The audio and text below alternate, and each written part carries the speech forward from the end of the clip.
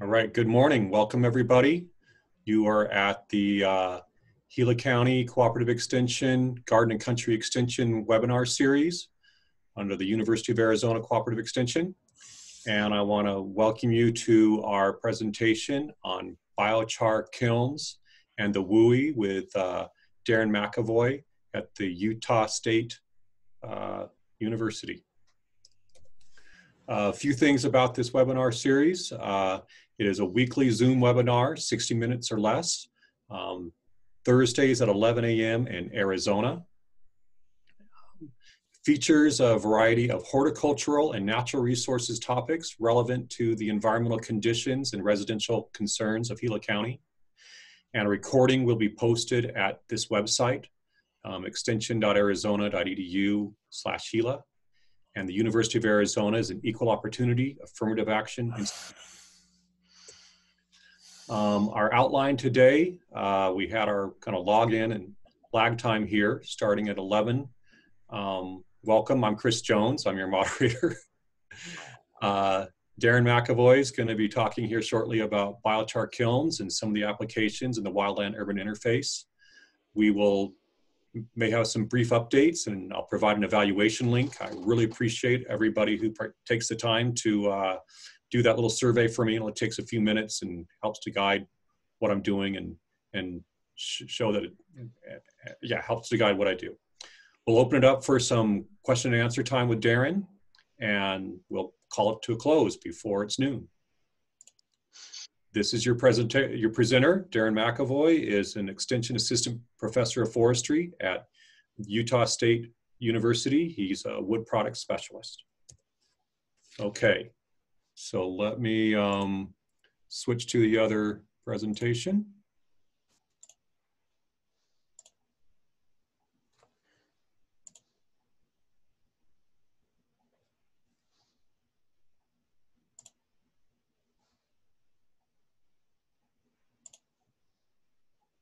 Darren, how's that look to you? Looks great, Chris. Thank you. You are up. Thank you, Chris. As Chris mentioned, I'm Darren McAvoy. I'm an extension assistant professor here at Utah State University, and I'm the chair of the Utah Biomass Resources Group. I want to talk to you today about the biochar kilns I've been working with since about uh, 2017. Okay, come on.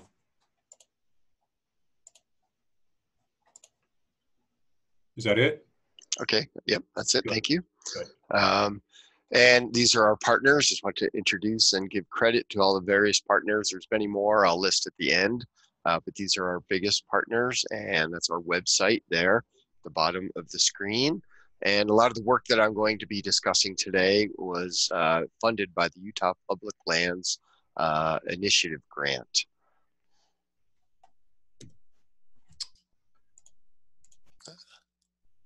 Um, the goals of the project, uh, the biochar kiln project, are obviously to reduce hazardous fuels.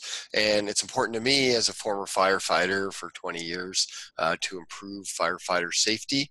Um, I'd like to be able to create a product at the same time instead of wasting all this uh, wood material as you see in this photo and this prescribed burn we did here in Utah several years ago and um, and to, and to try to develop the bioeconomy. I'd like to say pretty much all the photos in this presentation I've taken. Um, next slide, please. Uh, this is a typical slash pile, um, uh, what we would call a slash pile waste wood. Uh, this is down on the Heber Ranger District in the Uinta National Forest I was looking at just last week. And we're going to try to use our biochar kilns on, on, this project where they would normally just burn these piles. Um, and the issues we have with pile burning, why I'm trying to find an alternative to it, um, include uh, air quality issues, of course, and, and with uh, COVID concerns, air quality becomes very much uh, more important. Um, damage to the soil, and I'll talk a little bit more about that. Um, and the season that we can burn in is very limited. Uh, we're trying to burn piles due to fire restrictions and air quality restrictions, and where we can burn those piles is very limited. Uh, this is some piles I was burning two years ago, helping the Vermejo Ranch in northern New Mexico. And these piles, uh, you can see through the back of the photo, there's a, a, bunch of piles through the forest.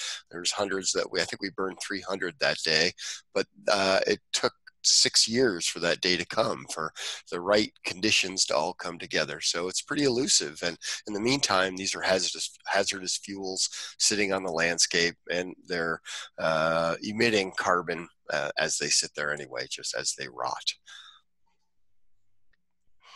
Uh, this is sort of the poster child of uh, poor uh, effects, soil effects from pile burning. This is the Flathead National Forest back in the 1980s. Uh, these piles were burned.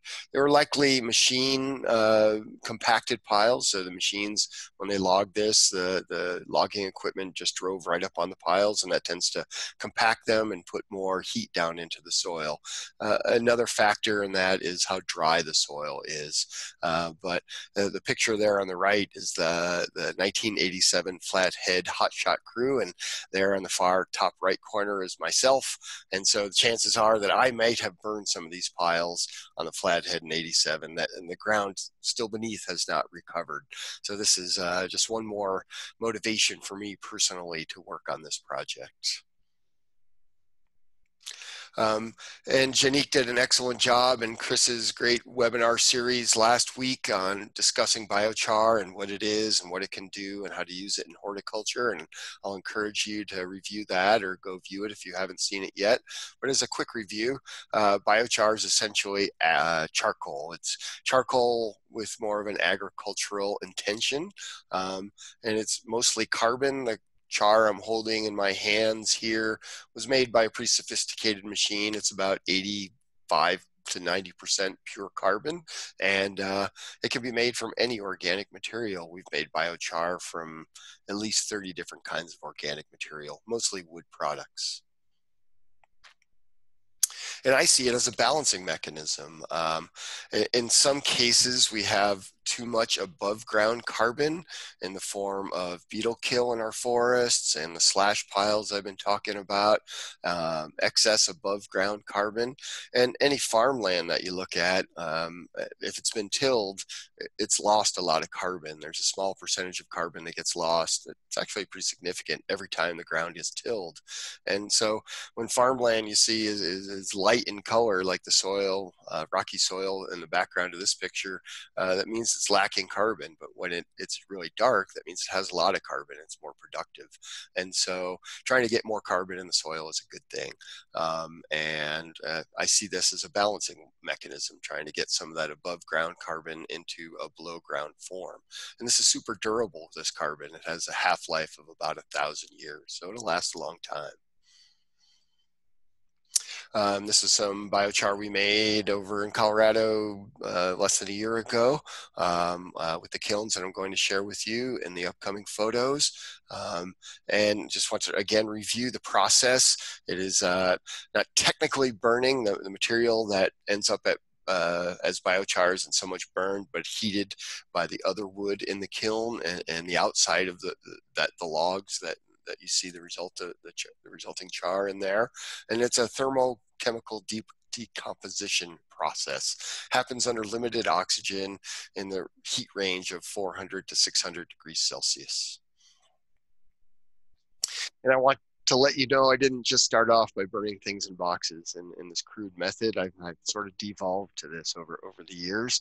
Um, this photo I think uh, is from 19 or from 2010 uh, thereabouts. Uh, our first attempt, the Utah Biomass Resources uh, Group's first attempt at, at uh, wood utilization was this dragon wagon, is what we called it. It's a mobile gasifier, so it cooks the wood, turns it all into a gas, and we make electricity from it. It was a great project to get us started, but we found it wasn't that practical. It took all the uh, mm, uh, focus and time of the, the person running the machine uh, to, to keep it going. It made enough power to produced uh, for two homes or for uh, Utah's first uh, rock concert that we held uh, that was wood fired in, in Beaver, Utah back in I think 2014. Um, it was an interesting project, but it was not that practical for us. over time, we moved into this other high-tech approach. This is uh, pyrolysis, uh, mobile pyrolysis in, uh, unit inside of this trailer. And you can see all the equipment that is required to, to pyrolyze the pinyon juniper we were working at, uh, working on out in the Nevada desert here in this picture. Um, we demonstrated this machine all over and it's continuing to work on really promising and, and, and worthwhile things. Um, but we found over time with the cost of this machine and and uh, our ability to make biochar in simpler ways and uh, and our focus on biochar, uh, we think there's room for all ends of the market. And so these are our simple flame cap kilns. Uh, they're also called Oregon kilns. I got this idea from a person in Oregon, Kelpie Wilson, who came and gave us our first workshop here in Utah. And I bought my first couple of kilns from. And uh, Kelpie and others are doing this sort of thing in, in other states. Um, and uh, they these they're simple metal boxes that can be made for $800 by any welder. Uh, and some of the fact sheets I'll show at the end. We have the plans for these publicly available. And these kilns are uh, uh, five foot by five foot, uh, uh, and then they taper down to four foot by four foot. This just makes them stackable. The shape is not terribly important, or the size is not terribly important. What is important is that they're contained, that there's no air coming in from beneath. Um, these are about two feet high, so it's easy to throw brush into for people to carry around uh, and uh, to transport them. And so four strong firefighters can uh, carry them. They weigh about 200 pounds. Um, we can stack several several of them on a trailer like this, so they're highly transportable. Um, and the process uh, for doing it, the method. We load the kiln with a rick of logs, is the term, just a crisscross pattern. So there is oxygen down in there to get started with, get the fire going. And dry feedstock works best, but we've seen good success with wet feedstocks, especially if they're uh, smaller diameter. Um, uh, in Utah, we're able to get away with up to eight or 10 inch diameter material if it's really dry. So we start with by filling our kiln with this feedstock and it is helpful to have the fuels uh, pre-cut and sorted by size and, and by length that like we see in this picture. Um, and then we top dress it with uh, kindling, so to speak, small fuels on top. And then uh, it's important to top light uh, the whole thing. And this will create a cap of flames over the top of the kiln that we'll sort of see in our next, in our upcoming pictures. And then light it with whatever is available. And we're a big family state here in Utah, so we like that everybody can get involved. Grandpa and the kids can participate in this. Um, I've, I've, had lots of different folks participate in it, different workshops, be very hands on. Um, and then after we top light it, uh, we keep adding fuels. Um, um and it's like tending a fire. There's some art to it. Um, if you put on too much, you will smother it. If you put on too little, it, it'll just burn up the char that you want. And so you keep adding fuels, and typically we can add four to eight times the volume of the kiln in fuels before we put the fire out.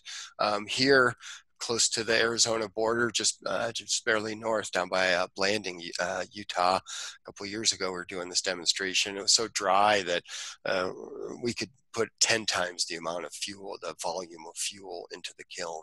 Um, just had to watch it really close.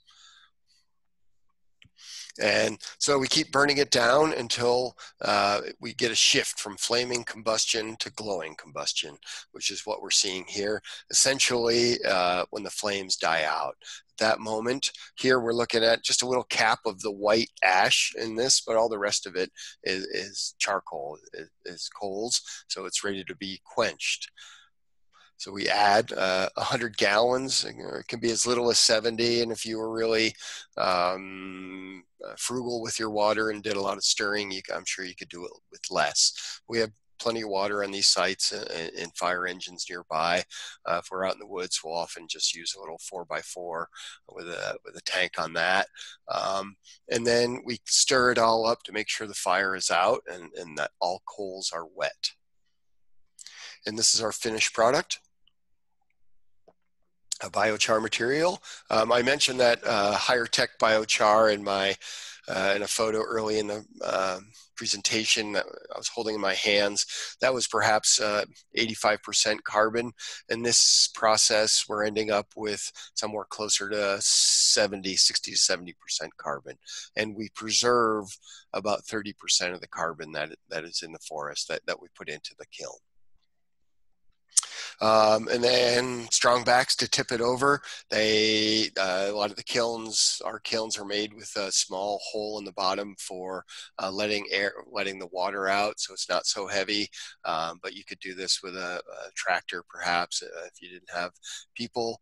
Um, and the fuller you make it, the heavier it will be, of course and um, make sure we dig a fire line around if we're in the forest like here we dig a fire line around the area little trail around the area so fire cannot escape. Of course we would want to do this on windy days or we need a burn permit to do this so all those things fire safety has to be taken into consideration of course.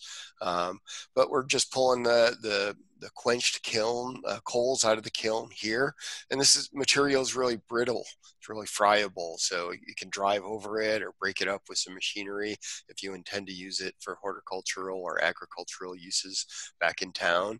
Um, or if you're going to spread it in the forest, it's, appropriate to leave it in this large piece size.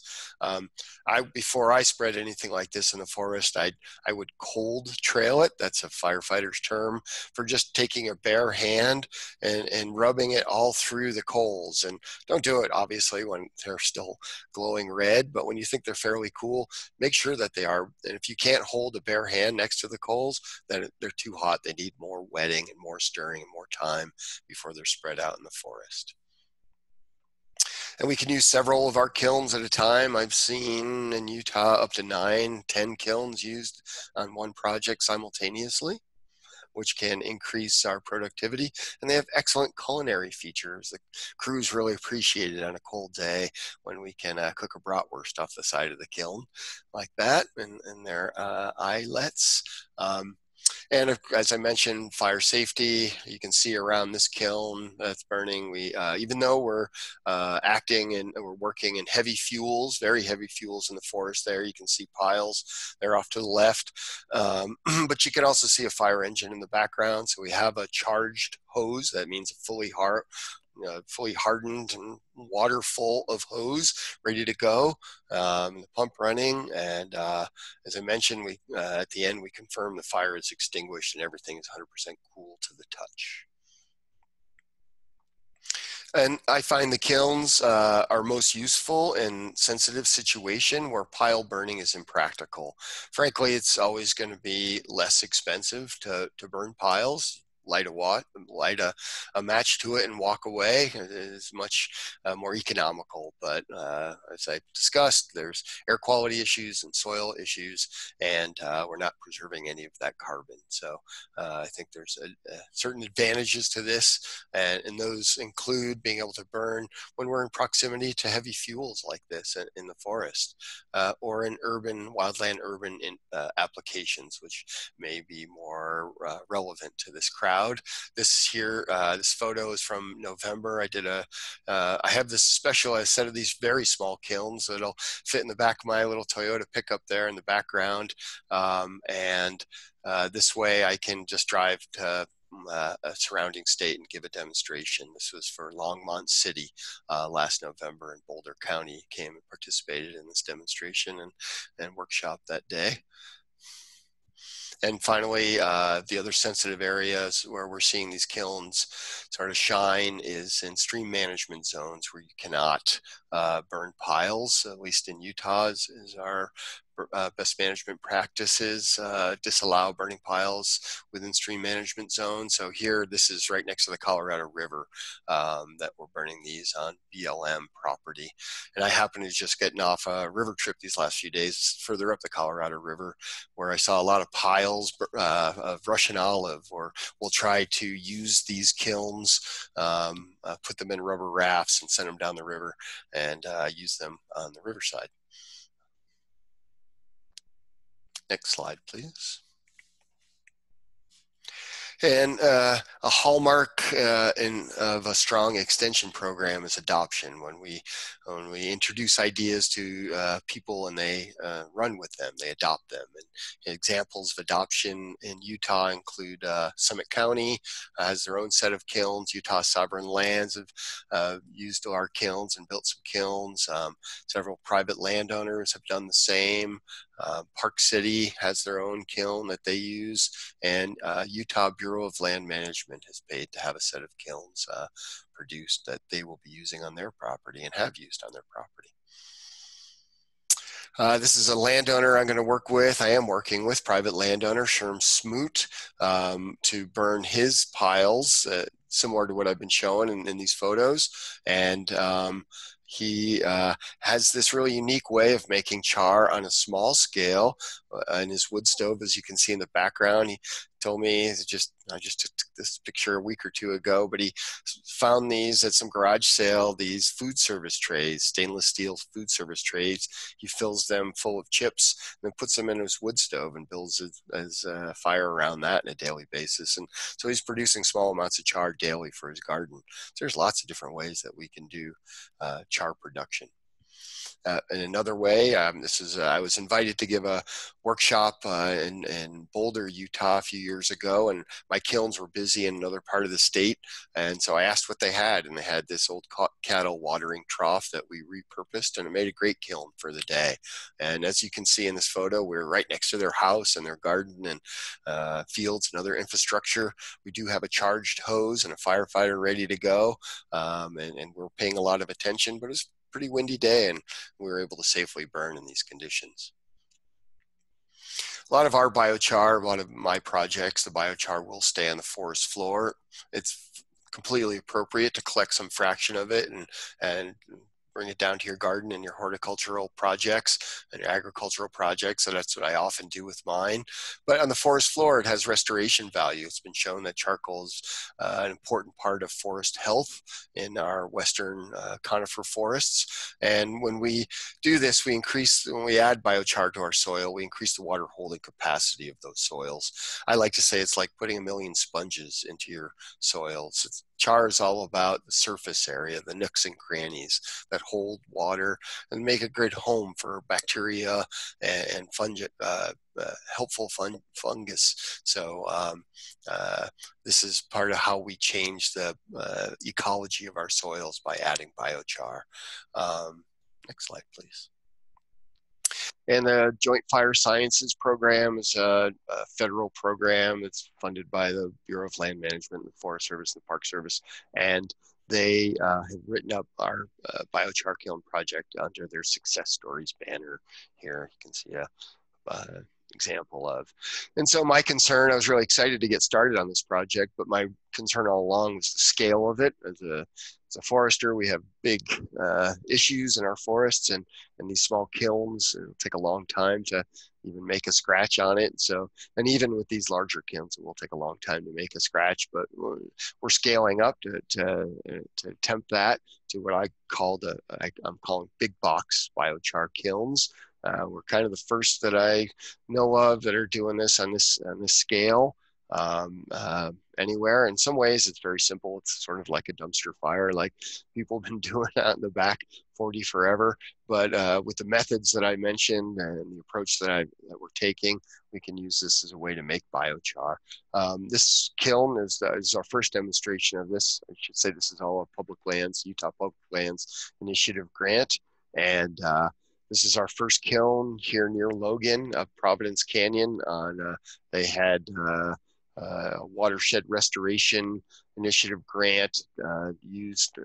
Uh, they used that. The Forest Service used this money to cut a bunch of piles, cut and pile a bunch of juniper trees, and here we're burning them and making biochar out of them last November on the here on the Uinta Wasatch Cache National Forest, Logan Ranger District, one of our partners in this project. Um, this particular kiln is uh, was our first one in single wall construction. It's uh, we call it the BB16 because it's a big box and 16 foot long, and this one is six foot high and eight foot wide. 3,000 pounds. And as you can see, we need a big track hoe to be able to load it and, and, and tend it. Um, and it was a it was a pretty successful first start. In the meantime, what we learned on that, we built our second kiln. This is the BB12. Uh, this is being uh, at a workshop we did in Moab. Um, this photo is from from this January, so just a few months ago um, or I guess February it was. Um, this one is double wall construction, as you'll see in some of the other photos. And this uh, insulates the inside, gets a little more even heating and better char production. And um, it makes it, more importantly, perhaps makes it easier for the firefighters to, to get up next to, protects them from the heat and protects some of the equipment from the heat. Um, I this design is informed with by a partnership by uh, some folks in Oregon, the Yew Creek Land Alliance, and Ken Carloni is a, a, a, fellow forestry professor there, and we're working on these projects uh, sort of simultaneously. Um, the BB6, the BB12 is easier to handle than the BB16, at least at the first rendition of the BB16, because it weighs so much less that was part of the intention. This one weighs weighs closer to 2,000 pounds, whereas the other one is 3,000 pounds. This one is much easier to trailer and move around with smaller equipment, and it's manageable with a mini excavator that any landowner can operate or firefighters have been operating, um, and is available from any rental shop in most towns. Um, and um, and this is a breakthrough to me because we don't need to hire necessarily a, a separate contractor with a low boy and a great big excavator. This makes it a little bit easier to be nimble, which is really important because we have to act when fire is, uh, when we get a burn permit and when the window is open. Um, there's uh, some more photos of the BB-16 being set up on site in Providence Canyon last year. Give you feel the fuels and the surroundings. Um, and very important to work with the operators, uh, excellent operators, but don't necessarily have the skills at, uh, at loading the kiln, at, at, at, the fire end of things, essentially, in the char making. But uh, everybody we've worked with so far has learned really quick and has been really great attitude and it's, it's been really helpful. Um, here we are loading the 16 um, and we top it all off just like the small kilns. We top light it just like the small kilns. And I'll point out this this turned out to be one of the weaknesses in a way of the 16 is that it's six foot high, so you can't even see into it unless you climb up the hill or have a ladder. So we, we thought it was a little better. In the end, uh, I've had this cut down to four feet high. So I think we're going to, uh, most of our kilns in the future will be that size for accessibility and for uh, the, the less weight makes them a lot easier to uh, manage. And then after we, after it burns down a while, like tending a fire, like the small kilns, you add fuels as, as, you're allowed to, and you can see the puff of smoke coming out. And you may have noticed in our former all the other pictures, there's really no smoke coming out of these kilns. I mentioned this flame cap, so all the smoke tends to get uh, gets consumed as it rises through the flames on the top of the kiln. And then when you add a big big uh, pile of fuel on it like we just did here, you'll get a puff of smoke until it adjusts and settles in, and that flame cap re, uh, reappears and reforms. And uh, and I'm, I'm looking for grant dollars to quantify this to have actual research showing that these kilns produce less smoke. But this is a common scene. I'm looking right through the smoke, and you can see a little bit of particular matter coming through the kiln that's operating. It's it's at 800 degrees and full of fire right now. You can see in the middle of the photo a little bit of flames leaping out of there, but it's a mostly a smoke-free experience that we're finding. And working with the uh, smoke management uh, folks here in Utah have been great. Um, and they actually came and set up this air um, quality monitoring equipment and right next to the kiln and and the air quality here was no different than it was at the station 15 miles north as a comparison. So uh, we're doing pretty good that way. This kiln is very uh, was challenging to tip over. Took a big machine and was uh, touchy that we didn't bend it up too much, but tipped it right over. Didn't turn out to be that much of a problem. Here we are emptying, firefighters emptying the biochar from the kiln, and and there's some unfinished uh, logs there in the in the foreground you can see, and those those are excellent for forest health. Be spread out on forest health, and if folks are interested in hugelkultur, they they're very popular in other states, uh, in Oregon in particular, the, those charred logs for hugelkultur base. That's a whole different topic. Uh, next slide, please. Um, and I want again, you can see the flame cap acting well here. No smoke coming out of the kiln hardly. The only smoke is kind of the stuff on the edges that are, isn't fully involved, and uh, and with minimal embers. Some are claiming no embers. I'm not going that far, but I think we can do this when fire hazard is a little higher and you couldn't normally burn piles. Um, back to our Moab demonstration. Um, uh, we used Russian olive was the feedstock here. Again, we're working right along this uh, stream management zone of the Colorado River where you couldn't burn open piles. Um, and this was done on private land. And I'll point out again, it's a mini excavator uh, being run by the landowner himself in this. And I could point out at the front of this kiln, you can see the little dog door sort of thing at the bottom. That's our trap door for letting the water out at the bottom at the end. So it's not so heavy, a little easier to tip over. Um, lighting the BB12, a little easier. It's only four feet high. We can reach it. Um, and it's really important to size the kilns to the job. If you have really big fuels and a lot of them, a lot of piles, you might need larger kilns or more of the kilns or a combination of kilns is often what works best. Small kilns to get off in the far corners where the small piles are and harder to get to fuels and then larger kilns more towards the landing piles if it's an actual logging job or something like that. Trailing the BB12, again, a lot easier, much more manageable at 2,000 pounds. This is just, uh, well, not in this photo, but I I can tow this with my Toyota Tacoma or an F-150, and that was very much part of my strategy to make this accessible to folks with just regular uh, pickups and equipment like that. And Chris, if you go ahead and try and click on this, I have a short video, uh, so a minute or two, give you a better feel, see if this video is active. I'm not sure if that's going to work. And if it doesn't work, that's fine. You can see that on our website. And we could just go back to the presentation.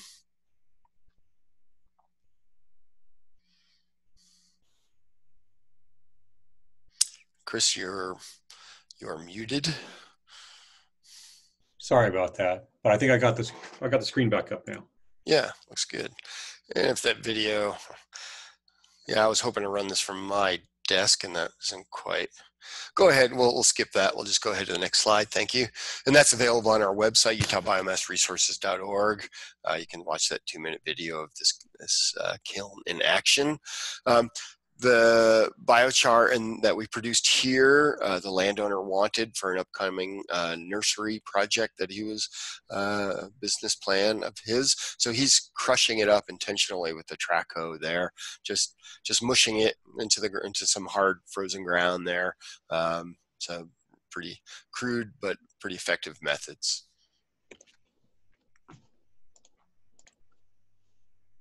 Um, wanted to point out a couple of fact sheets that we have uh, on, on these topics uh, on, on, restoration and on just using the kilns. The first one there on the left is uh, very similar to what I talked about today. It would be a good review or uh, backup if you want to uh, produce or go in this way. And you can find these on our uh, at forestry.usu.edu.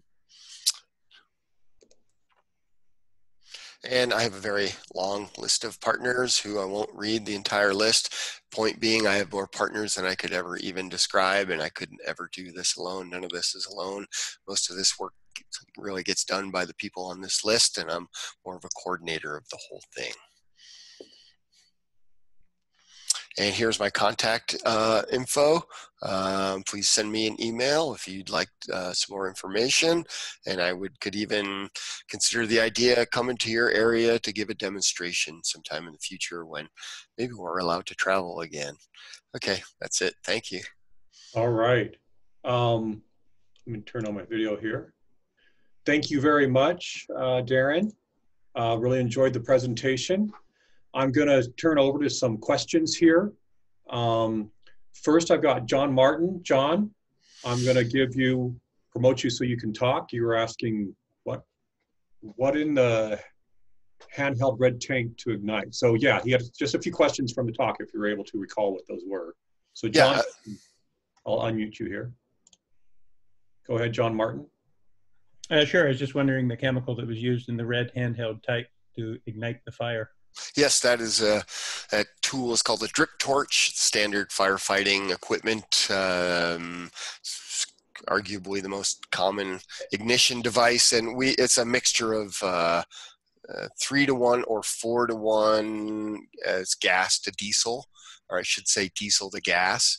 Mostly, Good. mostly diesel. A little bit of gas depends how flashy you like it. Depends how you're as far as the mix, three to one or four to one. Does that answer your question? Right. The reverse would be undesirable, I should imagine. Yeah, it'd be flashy. You'd, you'd, be running very fast through the woods if that's what you were carrying behind you. You bet. And how'd you get the uh, bin up on the flatbed? What, you got just a winch that you crank down, or it's a yeah. tilt bed? Yeah, great question. I, I, was very much worried about that, how we're get, get, going to get it on and off the flatbed. I think we can, I was tender about it getting it off since it was our first time. I think we could just tie it to a, an old uh, a post or gently to a tree and uh, and drive away and let it fall on the ground for unloading it. For loading it, yeah. Um, I was impressed with the landowner. He had no problem loading and unloading it by building a crib of, of he had some four by fours and he kind of made a crisscross or like a rick like I did, um, just a Lincoln log, uh, four four by four sort of squared around and and okay. built it up to that level and and so he lifted one end and set it on that and then and that's how he loaded and unloaded the kiln very good you mentioned burning russian olive uh, that's an invasive in British Columbia. Is it an invasive down in your neck of the woods as well? Absolutely, Darren? we have so much of it. It's a huge problem here. It's it, it's it's they're hard as a rock, hard yeah. to cut. They make good biochar though. Okay. We've done we've done a lot of biochar projects from the Curlew National Grassland where we are making biochar to grow better uh, habitat for the it's critical habitat for the monarch butterflies its breeding oh. ground surprisingly just over the idaho border from here and uh, and so we're trying to grow better forbs and pollen and milkweed uh, for the butterflies there from russian olive char and a whole bunch yeah. of others i make a lot from tamarisk too i don't know yeah. i don't think it goes that far north does it uh, uh, salt cedars, its more common name here and and we do a lot of uh, tamarisk invasive species. Uh, you know, such a win to do invasive species, uh, uh, where it's already a win in my opinion because we're producing carbon, we're not uh, producing as much smoke, um, yeah. and if we can do this with invasive species, then we're way ahead. It's a double win. Absolutely. Yeah, thank, thanks for your question. Thank you for taking them. Excellent presentation. Thanks so much. Okay, the next person I've promoted up for a question is Erica and she had a question in the Zoom box. So Erica, you are un unmute yourself and you can ask Darren. Hi, um, we do a lot of camping and we do a lot of backyard campfires. Um, I'm involved in a community garden down here and I have my own personal one. So what should the finished product look like? How do I know I'm doing it right? Great question. It should be black, 100% black all the way through. It should be hmm. brittle. Uh, it should look like coals. It should.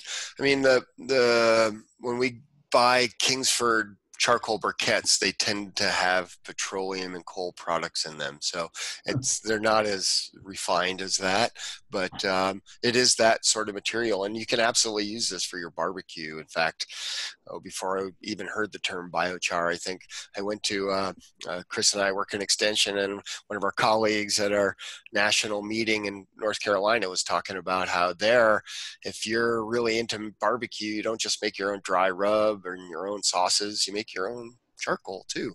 So he's doing exactly kind of the same thing that we're doing. So it should look like coal. So at the end of the, you know, when you put your fire out, Erica, um, at the end, uh, that's that's and you have unburned material in there and if you reach in and take one of those sticks that's unburned the next day when it's cooled off and you break it open and it's black all the way through that's biochar if it's white on the edge, that's ash. Um, and if it's uh, still brown inside, not completely uh, cooked, we would call that probably torrefied wood. Um, so there's different sort of grades of, of, of combustion uh, completeness there. So uh, it's pretty straightforward. If it's brittle and friable and black and can break it into small pieces, that's char. Um, I believe that was the same question you had, Rich. Did he answer your question or you need to ask that in any other way? Actually, I, I was going to ask it slightly differently. Um, most of the reading that I've done about biochar, it's all been made in a zero oxygen environment in a, in a hmm. totally enclosed container with maybe a you know a small small pinhole kind of thing to let out the gases. Um, yeah. And, and they always made quite a distinction between charcoal and biochar. And I, I, guess I'm trying to remember exactly what the distinction was there. I guess the biochar mm-hmm. maybe was a more pure form of carbon or something. Mm. But is there? Can you? Great questions. Um, the second one first. Uh, difference between charcoal and biochar. Essentially, depends who you talk to. A lot of times people say it's exactly the same. The difference would be charcoal would be cooked slightly less. You, would be okay leaving some of those volatiles on the outside of your charcoal, and that would get your fire going um, and be okay uh, for cooking because they would burn off early on, probably before before you put your your meat on or whatever. But um, uh, char char we don't want that on it, so we cook the char just slightly longer. Uh, and we had that problem early in our sort of process. We were with the more high tech machines, we didn't cook the char long enough. We left too many volatiles on there. So if there is a difference, and it depends who you talk to and what definition you're looking at. Um, uh, it, it is uh, it's those volatiles on there. And in fact, I've taken my biochar from the big box uh, project in Providence Canyon uh, and used it as charcoal. I went up after hours and had some friends over and, and had a big barbecue and barbecued a bunch of salmon and chicken uh, with, with juniper coals. That was kind of fun. Um, and the zero oxygen question comment. Yes, good point. Very little oxygen is allowed to make a char. And this surprisingly is a very low oxygen environment. Let me say how, because that flame cap partly that goes across the top of the kiln doesn't allow that limits any oxygen that can come down. It can only be sucked in through the sides of the kilns. And what's going down going on inside of the kiln inside of one of those logs is the outer portion of the log is burning off. That's just open combustion with oxygen. But no oxygen is getting or not enough oxygen is getting into the center of that log to cause complete combustion. So it's that those subtleties that that allow us to make biochar, uh, charcoal in this crude form.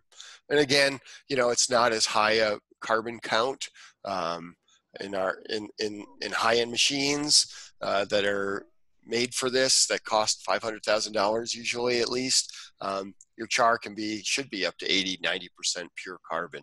And these crude methods, we're looking at 60, 70% pure carbon, but it costs so much less and it's so much more accessible. Does that answer your questions? Yes, very, that did very well. Thank you. Thank you. Okay, um, next up, uh, if you go into the chat box I provided and evaluate a link to the evaluation. Um, if any of you have done this before, it only takes about 60 seconds, two minutes, you know, if you add a little extra information, but just gives me an idea how the talk went and a little bit, yeah, just a little bit information for me. Darren knows all about us having to evaluate our programs, so this is good. And um, Kristen, I've promoted you to, yeah, you're ready to go. So Kristen, you're up. Thanks. I've done a couple Zoom meetings in my lifetime. Um, I was just wondering, um, I'm familiar with the Arizona publication 1752 um, regarding making and using biochar for gardens in southern Arizona. Is that a good resource to use as well in these situations? Um, I have never really recommended it. I don't think I've seen a lot of people in Maricopa County using biochar. Um, again, the alkaline soils over here are one of the biggest concerns.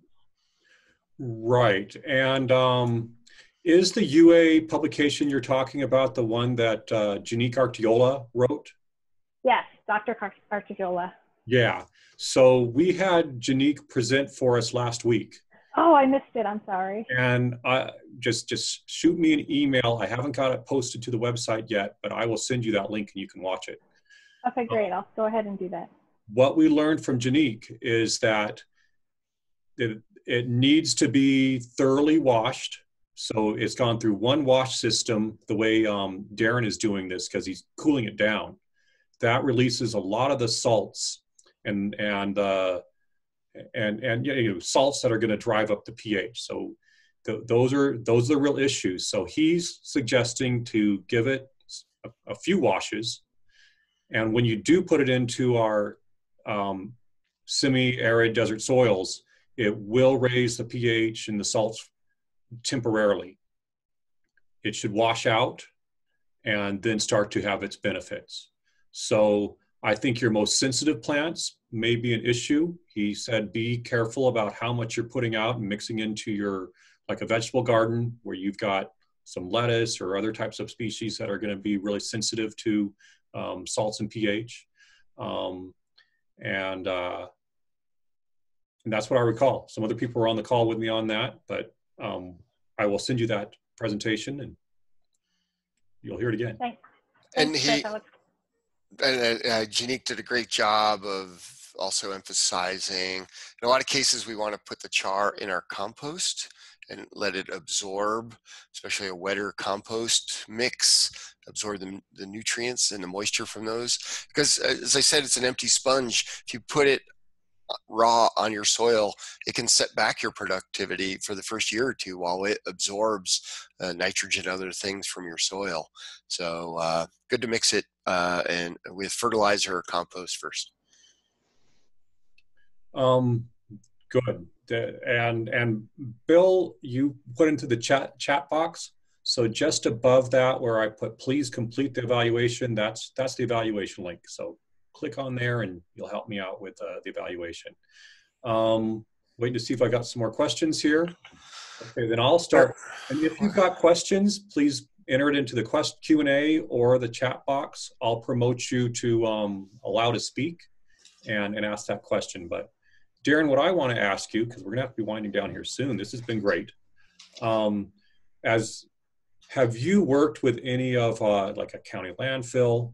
You know, some of the WUI situations where this may be a good opportunity to divert um, fuel that could go into the landfill. You know, otherwise they're burning it, you know, making ash out of it, and then we may have an opportunity as biochar as some type of product. Great question, Chris. I've tried. Uh, I have not yet been successful. I've knocked on several doors. Maybe I haven't knocked on the right one yet. Um, I will keep trying. As a previous uh, speaker mentioned, nobody's really heard of biochar yet. So when you go show up at the dump, talking, you know, I'm a researcher and I do biochar stuff. They don't. I haven't gotten much cred yet, um, but I'll I'll keep trying. Well, it's something I'd like to try to do in, in my county and why I'm doing some of these these talks to learn and share and get ready to talk with ours because we're dealing with those issues. Um, It, se- it seems like such a no-brainer to me because, I mean, I, I first I, I uh, started like uh, approaching the dumps, asking for old dumpsters that I could use as kilns because they probably make pretty decent kilns, and I found even that hard to get their old dumpsters out of them, um, let alone get them to start making char. Um, but I'll keep working at it. Yes. It's all all starts with a relationship, I guess. It's true. Okay. Um, again, I'm going to ask for sort of if people have more questions, please put that into the Q and A or the chat box, and I'll promote you to where you can ask it. I'm going to put up a couple of my ending slides here. Make sure I've got the right one. Why am I showing two presentations? I think this is the one.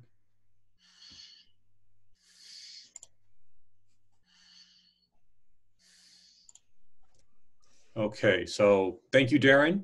Um, when I do these webinars, we don't have the ability to give that audience feedback where they can give a clap or a thumbs up, but I'm sure the whole audience is is clapping and showing great appreciation. Thank you. Um, again, I put that uh, webinar link in the in the chat box. So if you got a, an opportunity to do that, I really appreciate it. Um, just want to let you know that our next presentation will be um, 11 o'clock Arizona time again.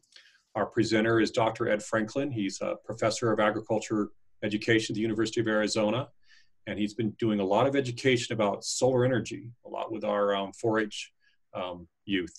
And just know he does a lot of off-grid type of uses and like to learn more about rooftop and working with companies uh, and, and doing that type of stuff. So that will be our next presentation. I'll be taking the week of the first week of July off for the uh, 4th of July weekend and be presenting, um, letting people know what the July webinars are soon, very soon. Um, that's it. Okay. Good job, Chris. If we don't have any more questions for, for Darren, we're going to bring this to a close. Well, people are saying they can't see the questionnaire. Hmm. When, when you click on that button, this is what should come up. It says, H, I'll, I'll put it in there one more time. It's right there in the, in the chat box, forms.gle slash whatever.